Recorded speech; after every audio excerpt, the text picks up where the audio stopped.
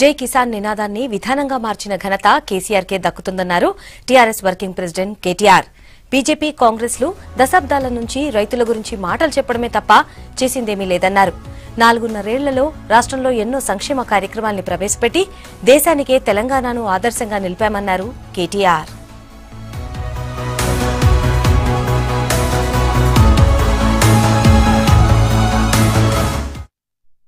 అడుగు అడుగడుగునా కష్టపడ్డది.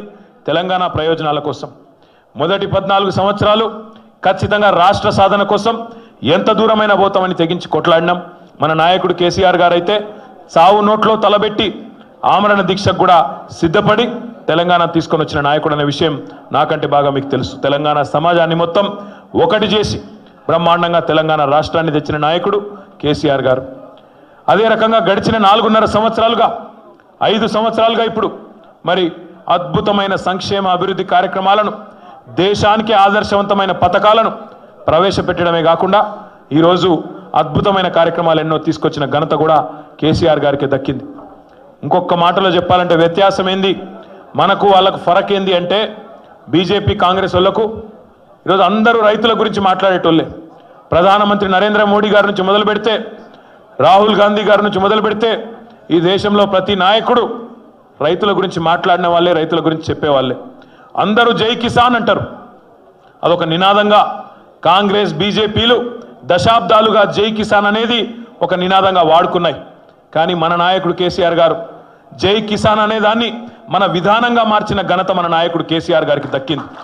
ఈరోజు డెబ్బై ఒక్కేళ్ళ తర్వాత స్వాతంత్రం వచ్చిన ఇన్ని సంవత్సరాల తర్వాత రైతు బంధు రైతు బీమా లాంటి పథకాలు తెలంగాణలో వచ్చినాయి అంటే ఆ పథకాలు దేశానికి ఆదర్శంగా మారినాయంటే కేసీఆర్ గారి ఆలోచన దేశం మొత్తానికి ఆచరణగా మారింది అంటే ఇది అతిశయోక్తి కాదు అనే మాట నేను మీకు గుర్తు చేస్తా ఉన్నా. మీకు తెలుసు. చంద్రబాబు నాయుడు గారైతే తెల్లారి లేస్తే కేసీఆర్ గారి పేరే తలుచుకుంటా ఉన్నాడు. ఈ మధ్యన టీవీలు పేపర్లు చూస్తే తెల్లారి లేస్తే మన మీద తట్టేనది దుమ్మెత్తిపోస్తాడు చంద్రబాబు నాయుడు.